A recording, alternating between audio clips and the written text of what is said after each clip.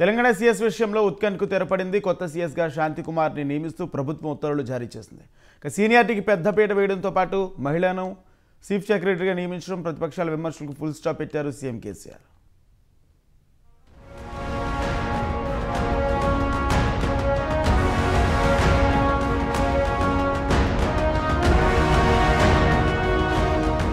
తెలంగాణ రాష్ట్ర నూతన సీఎస్ ఎంపిక అనూహ్యంగా మారింది.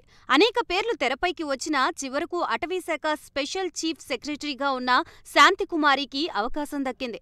క్యాట్ ఉత్తర్వుల్ని కొట్టివేస్తూ హైకోర్టు తీర్పు ఇవ్వడం డీఓపీటీ ఆదేశాలతో మాజీ సీఎస్ సోమేష్ కుమార్ ఏపీలో రిపోర్ట్ చేయాల్సిన పరిస్థితి ఏర్పడింది. ఇక సోమేష్ కుమార్ కూడా డీఓపీటీ ఆదేశాల మేరకు ఏపీలో రిపోర్ట్ చేయాలని నిర్ణయించుకున్నారు. అనంతరం ఆయన ఎలాంటి నిర్ణయం తీసుకుంటారనేది సస్పెన్స్ నెలకొంది.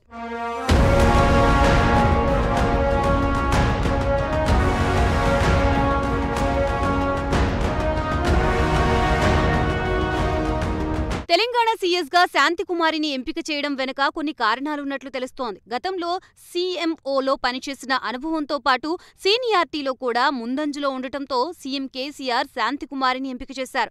ఇక కాపు సామాజిక వర్గానికి చెందిన అధికారిని కావడం ఎంపికకు బలం చేకూరింది. ఇక గతంలో సోమేష్ కుమార్ ఎంపిక సమయంలో సీనియారిటీ పాటించలేదన్న విమర్శలు వచ్చాయి. రెండు వేల పద్నాలుగు ఎన్నికల తర్వాత మంత్రివర్గ విస్తరణలో మహిళలకు ప్రాధాన్యత ఇవ్వలేదనే విమర్శలకు చెక్ పెట్టే విధంగా సీఎం కేసీఆర్ శాంతి కుమారిని నియమించారు.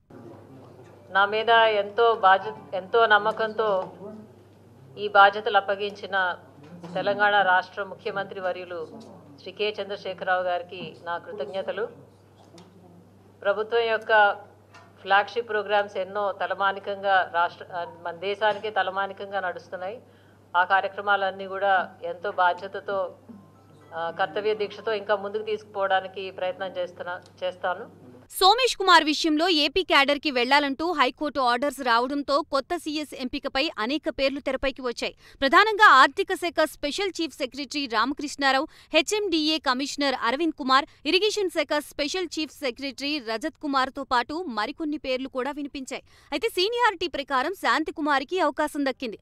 అంతకుముందు సీఎం కేసీఆర్ ప్రగతి భవన్లో పలువురు మంత్రులతో సమావేశమై సీఎస్ ఎంపికను పూర్తి చేశారు.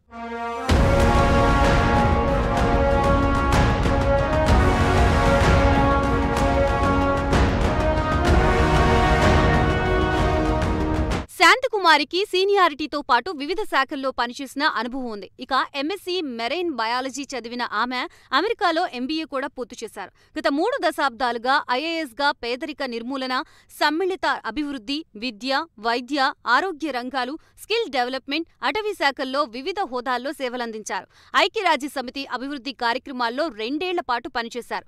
గతంలో నాలుగేళ్ళ పాటు సీఎం కార్యాలయంలో ప్రిన్సిపల్ సెక్రటరీగా టీఎస్ ఐపాస్లో ఇండస్ట్రీ చేజింగ్ సెల్ స్పెషల్ సెక్రటరీగా కూడా సేవలందించారు. శాంతికుమారి ప్రస్తుతం అటవీ శాఖలో స్పెషల్ చీఫ్ సెక్రటరీగా పనిచేస్తున్న క్రమంలో సీఎస్గా పదోన్నతి పొందారు.